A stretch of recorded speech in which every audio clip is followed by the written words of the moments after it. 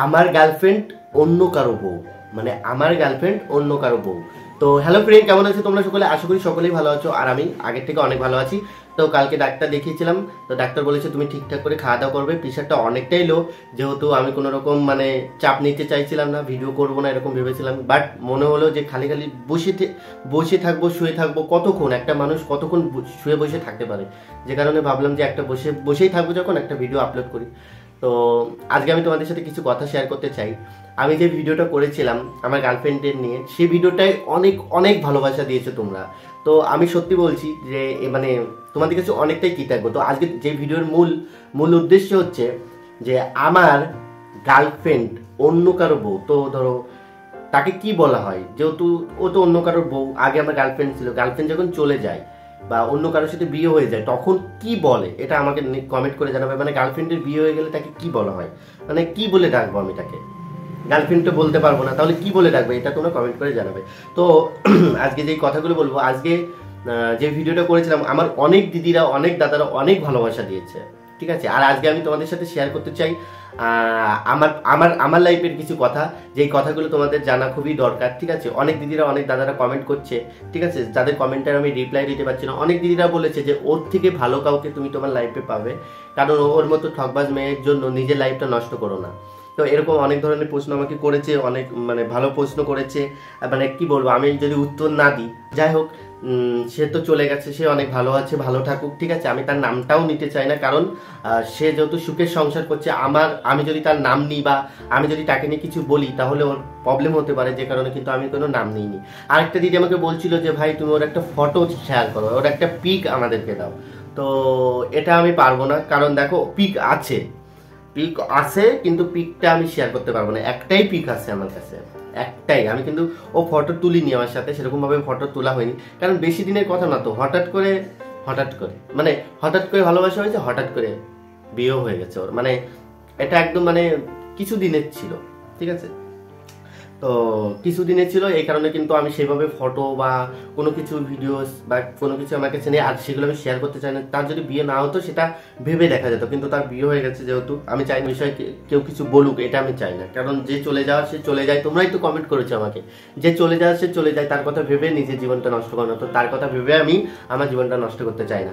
তো লাইফে আমি আমার বাড়ি কোথায় বা আমি কোন কলেজে পড়তাম, কোন স্কুলে পড়তাম কীভাবে ভিডিওয়ে আসলাম সব সবকিছু আজকে তোমাদের সাথে শেয়ার করব। তো প্রথমত আমি কখনো চাইনি যে ভিডিও করি বা ভিডিও করতে চাইনি কখনো, ঠিক আছে? আর তো দেখো, আমি কিন্তু ভিডিও করতে চাইনি। তো কখনো ভাবিনি ইউটিউবে আসব। ইউটিউব কি জিনিস, এটা আগে আমরা কখনোই বুঝতাম না। মানে আমি বিশেষ করে বুঝতাম না, ঠিক আছে? ফেসবুক ইউটিউব, এগুলো আগে বুঝতাম না। তো আমার ভিডিওয়ে আসার একটাই উদ্দেশ্য, সেটা হলো দু হাজার একুশ সালে যখন আমার জামাইবাবু মারা যায় তখন দেখতাম আমার দিদি যখন আমাদের বাড়িতে আসে, পরিস্থিতি এরকম ছিল, খুবই খারাপ ছিল। যেহেতু জামাইবাবু মারা গেছে তখন না, পরিস্থিতি এরকম ছিল যে, কি করব? ওদের তো বাঁচতে হবে। আমি তখন না দেখতাম সবাই ভিডিও করে টাকা রোজগার করে। তখনই ভাবলাম যে, ভিডিও করি। যদি এখান থেকে কিছু পাই, তাহলে আমার ভাগ্নেদের জন্য কিছু করতে পারব। তো এইভাবে আর কি আমার ভিডিও আসা, এটা ক্লিয়ার করে দিলাম। তখন থেকে ওই ভাগ্নেদের নিয়ে টুকটাক আমি ভিডিও করা শুরু করি। এইভাবে আমার ইউটিউবে আসা। আর আমার নাম হচ্ছে রঘু সরকার, ঠিক আছে? আমার বাড়ি হলো বগুলা নদিয়া জেলার বগুলাতে আমার বাড়ি, ঠিক আছে? আর আমার বাড়িতে আমার তিন দিদি আর আমি সব থেকে ছোট। আমার তিন দিদি আর আমি সব থেকে ছোট। আমার বদ্দির নাম ছিল সাধনা, সে আজকে এই পৃথিবীটার নাই। সে মারা গেছে পাঁচ বছর হয়ে যাচ্ছে, ঠিক আছে? ডেঙ্গু হয়েছিল আমার দিদির, হঠাৎ করে মারা যায়, আমাদের লাইফ থেকে চলে যায়, ঠিক আছে? তো তারপর আমার মেজদির নাম হলো চুমকি চুমকি অধিকারী। তো তার দুই ছেলে মেয়ে, সে অনেক ভালো আছে। আর আমার একদম যে ছোট আমার দিদি, তার নাম হলো মিনা অধিকারী। তো মিনাদিও ভালো আছে তার দুই ছেলেকে নিয়ে। ওই জামাইবাবু মারা যায় করুণায়, সেগুলো আমি পোস্ট করতাম ভিডিওগুলো। আর আমার দিদি এখন আর আমাদের বাড়িতে নেই, সে চলে গেছে শ্বশুর বাড়িতে তার দুই ছেলে মেয়েকে, দুই যেই ছেলে আছে, ছেলেদের পড়াশুনো করাচ্ছে, আর দোকান আছে বাড়িতে। ভালোভাবে দিন চলে যাচ্ছে, তাদের কোনো অসুবিধা নেই, সে অনেক ভালো আছে। ভিডিওই অনেক ভিডিও করা আছে যে ভিডিওগুলো আমার ভাগ্নেদের নিয়ে ছিল।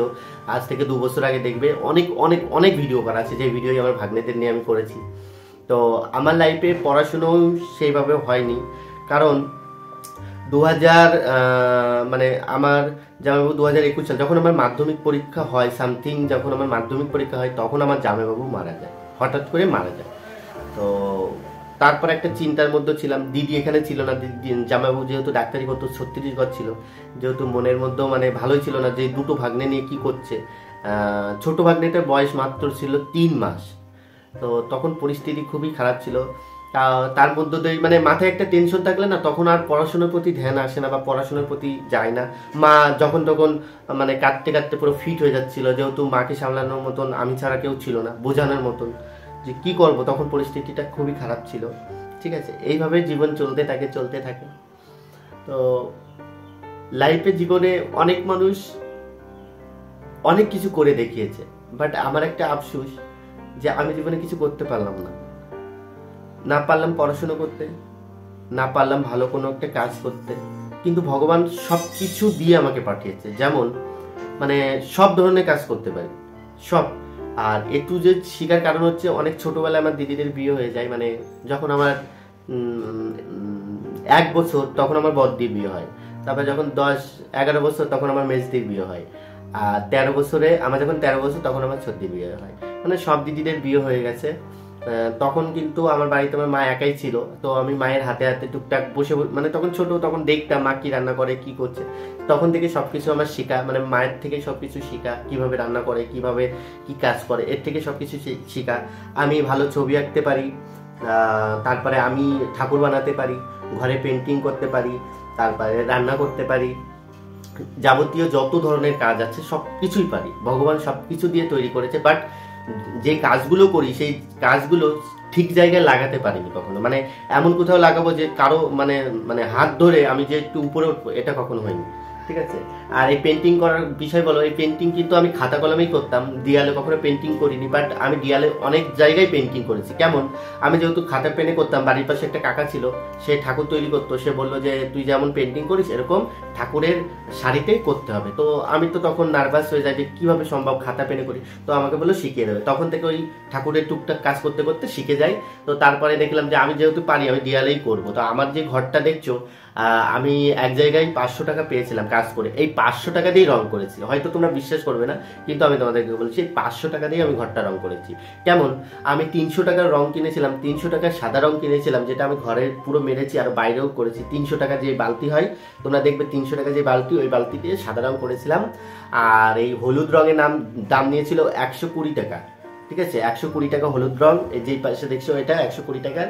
ঠিক আছে? মোট পাঁচশো টাকার মধ্যে আমি পুরো ঘরটা রং করেছিলাম পেন্টিং করেছিলাম। তোমাদের তো সকলে জানা যে কীভাবে কি পেন্টিং করেছি, দুটো ময়ূর রাখেছি, এই গাছটা, এগুলো, সব এই পেন্টিংগুলো করেছি। এইগুলো যখন আমি ফেসবুকে পোস্ট করি, আঁকার পরে তো নাম্বার দিয়ে দিই, যদি তোমাদের কারও প্রয়োজন পড়ে বা তোমাদের যদি কারও ভালো লাগে, তাহলে তোমরা প্লিজ আমাকে কমেন্ট করে জানাবে, তাহলে আমি তোমাদের মানে এঁকে দেবো। মানে মানে যেই টাকাটা খরচ হবে আর আমার পারিশ্রমিক মানে আমি যে কষ্টটা করছি তার মূল্য দিলে আমি করব। তো এরকম চার পাঁচ জায়গায় আমি কাজ করেছি, ভালো টাকাও পেয়েছিলাম, ঠিক আছে? মানে ভালো টাকা পেন্টিংয়ে যেমন নিজে করি, একা একা করেছিলাম, দমদম করেছি, তারপরে ডা, দমদম করেছি, তারপরে কৃষ্ণনগর করেছি ডানকুনি এই এরকম একটা জায়গায় গেছিলাম বালি বালি বালি ডানকুনি বালি আমি জানি না যে, ভালো করে মনে নাই সেই জায়গাটার নাম। তারপরে শিয়ালদা করেছি আমাদের গ্রামে দুই তিন জায়গায় করেছি ঠিক আছে? এরকম অনেক জায়গায় কাজ করেছি। এইভাবেই চলছে লাইফটা অনেক ঠিক আছে? কারণ তার মধ্য দিয়ে আমার ভগবানের মন্দির তো আমার করার শখ একটা ঠিক আছে? তো ভিডিও সামনে একটা ভিউজ হয় না আর যেই পরিমাণের ভিউজ হয় মানুষ লাইক কমেন্ট করে না। কোনো দুঃখ নেই। কারণ যারা লাখ লাখ মানে ভিডিও থেকে অনেক উপার্জন করে, অনেক অনেক বেশি, তাদের ভিডিও কোয়ালিটিগুলো আমরা দেখেছি, তাদের ভিডিওগুলো কেমন করে, তারা বসে পড়ে ক্যামেরা ধরে, দেখো, আমি একটা সত্যি কথা বলব, তোমরা দেখবা আমার ভিডিও লাস্টের দিকে, আমি কিন্তু এ টু জেড দু বছর ধরে টানা অনেক কষ্ট করেছি, অনেকটাই। কারণ যে ভিডিও করে সেই জানে। একটা ভিডিও যেমন তেমন ভাবে ক্যামেরা ধরলে, যেমন তেমন ভাবে ধরলে হতো না। আগে একরকম ছিল। ভিডিও কোয়ালিটি একটা ভিডিও করার জন্য আমি আপ্রাণ চেষ্টা করেছি। আমার একটা ক্যামেরা ধরে দেওয়ার জন্য কেউ ছিল না। মানে একটা ক্যামেরা অব্দি কেউ কোনোদিন ধরে দেয়নি। মানে এরকম একটা পরিস্থিতি ছিল যে ক্যামেরাটা ধরে দেয় তার পরের দিন কেউ ধরে দেয়নি। ঠিক আছে? একা হাত দিয়ে শিলে মশলা বাচ্ছি ক্যামেরাটা ধরছি, আবার উঁচু নিচে করছি, আবার ধরছি, আবার বাড়ছি। এইভাবে করেছি, তারপরে ভিডিও এডিটিং করা, ছাড়া আপলোড করা ট্যাগিং সব কিছু এ টু জেড আমি একা করেছি।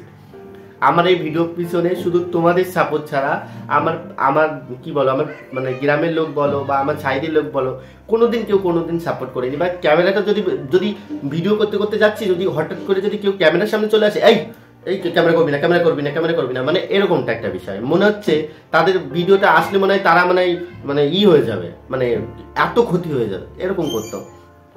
তো কারোর কথায় আগে অনেক কষ্ট হতো লোকের কথা শুনে, কিন্তু এখন আর কষ্ট হয় না। এখন ভাবি যে ভগবান যা করবে মঙ্গলের জন্যই করবে। তোমরাও সকলে বলেছ। আরেকটা কথা, ভগবান না চাইলে একটা গাছের পাতাও নড়ে না। তো ভগবান যদি চায় যে আমি ওকে ওটা দেব, এটা আমার চাওয়া লাগবে না। ভগবান নিশ্চয়ই আমাকে দেবে। আমার জন্য ভালো কিছু রেখেছে। আমার বিশ্বাস কথায় আছে, বিশ্বাসে মিলাই বস্তু, তর্কে বহু দূর তো আমার বিশ্বাস যে ভগবান আমার সাথে কখনো বেমানি করবে না। ভগবান সবসময় চাই যে আমার ভক্ত ভালো থাকুক বা আমার সন্তান ভালো থাকুক, এটাই সবসময় চাই তো এইভাবে আমার লাইফটা চলছে। ঠিক আছে? তার মধ্যেও এখন আমার দিদি, জামাইবাবু বা আমার ফ্যামিলি আমরা অনেক ভালো আছি। আগের থেকে অনেক ভালো আছি হ্যাপি আছি। আর তোমরা সকলে আশীর্বাদ করো। তোমরা আমার দিদির মতন, আমি জানি কথার মাঝে, বলার মাঝে অনেক ভুল থাকতে পারে, কিন্তু তোমরা আমাকে ক্ষমা করে দিও, ঠিক আছে? আর আমার প্রশ্নটার উত্তর দিও যে আমার গার্লফ্রেন্ডের বিয়ে হয়ে গেছে, তো অন্য কারও বউ, ওটা কি হয়? মানে কি বলে ডাকা যায়? ঠিক আছে? এটা বলো, ঠিক আছে? আমি এত ভাব মানে বুঝতে পারছি না কি কি বলব, ঠিক আছে? তো আমি আমার ভিডিওটা এখানে শেষ করছি। সবাই ভালো থাকো, সুস্থ থাকো, এরকম ভিডিও পাওয়ার জন্য। আজকে ভিডিও করতাম না কোনো রকমই, কিন্তু ভিডিও করলে পারে মনটা ভালো থাকবে, এই কারণে কিন্তু আমি ভিডিও করলাম। তো সবাই ততক্ষণ অবধি ভালো থাকবে। আমার লাইফে সব কিছুই বললাম। আরও যদি তোমরা কিছু জানতে চাও, তোমরা আমাকে কমেন্ট করে জানিও, আমি তোমাদেরকে জানাব। আর একটা কথা, সেটা হচ্ছে যে আমি কোন কলেজে পড়ি? আমি বগুলা শ্রীকৃষ্ণ কলেজে পড়ি, আর আমার স্কুল আমার বাড়ির পাশেই হরিতলা তারকদাস বিদ্যাপীঠ, আমার স্কুলের নাম। আর আমার কলেজ তো পুরো কমপ্লিট হয়ে গেছে। ঠিক আছে? এখন পুরো মানে বসে আছি। জানি না কোনো কাজ পাবো কি না যদি কখনো কোনো কাজ পাই, তাহলে তো কোনো কথাই নেই। জানি না ইউটিউবে কতদিন থাকতে পারব বা ভিডিও বাবা মায়েরও বয়স হচ্ছে। কাজে যদি চলে যায়, তাহলে হয়তো আর ভিডিও করা হবে না। কিন্তু জীবনে একটাই কথা বলব, অনেক ভালোবাসা পেয়েছি তোমাদের থেকে। অনেক অনেক অনেক অনেক ভালোবাসা পেয়েছি। আমি সারা জীবন তোমাদের কাছে কৃতজ্ঞ থাকব। যে এমন পরিস্থিতি ছিল যখন ভিডিও করে মানে নিজের মনের কথাগুলো তোমাদের সাথে শেয়ার করেছি, তোমরা বোঝার চেষ্টা করেছ, শুনেছো কথাগুলো, ঠিক আছে? সেই কথাগুলো, সেই স্মৃতিগুলো বা আমার এই ভিডিও এই চ্যানেলটাই অনেক ভিডিও আছে যে ভিডিওগুলো আমার অনেক মূল্যবান, অনেক সময় মানে অনেক মানে তখন আমি তো ভিডিওর মানেও বুঝতাম না, বলতেও পারতাম না। এখন যাই হোক, একটু বলতে পারি, আগে কিন্তু এরকম বলতে পারতাম না। তো যাই হোক মানে তো সবাই ভালো থাকো, সুস্থ থাকো, আর যদি তোমাদের কিছু জানা থাকে, আমাকে কমেন্ট করে জানাবে, আমি নিশ্চয়ই তোমাদের উত্তর দেওয়ার চেষ্টা করব। তো আজকের মতো বাই বাই সবাই ভালো থাকো।